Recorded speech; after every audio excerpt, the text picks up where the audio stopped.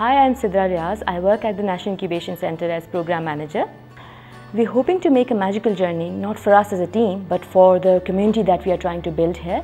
And this journey is going to define Pakistan in the coming years. Our vision at NIC is that we believe young entrepreneurs can change the world and we have to provide them support and the resources to get there.